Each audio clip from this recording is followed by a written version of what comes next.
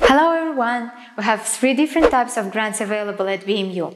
First one is 20% grant. It's given for those applicants with the IELTS 6.0 and 6.5. Second one is 50% grant. It might be given for those applicants with the IELTS 7.0 and above, plus successful interview with the BMU committee, and mass entrance exam. And the last one is 100% social grant.